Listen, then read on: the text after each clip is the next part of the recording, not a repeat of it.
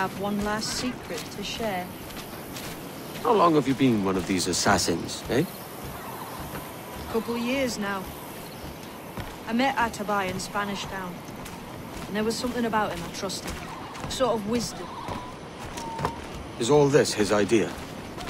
His clan? No, sir. Assassins and Templars have been at war for thousands of years. All over the world.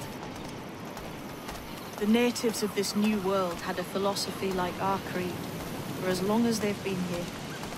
And when Europeans arrived, our group sort of... matched up. Cultures and religions and languages keep folks divided.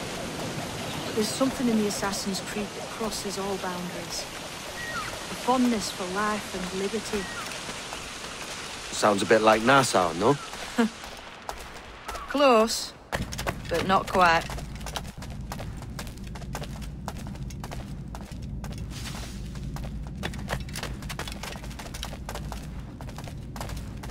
Here we are. Take that stone you discovered from the Mayan Stela and put it there.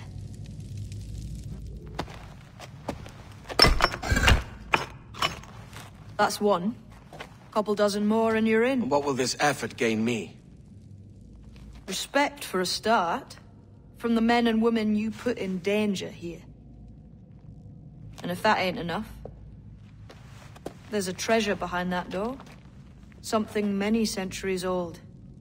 I reckon if you made the effort to find every last one of those, it'd be worth your while. So you sailing back to Nassau? When I have another contract there, right? This is my home for now.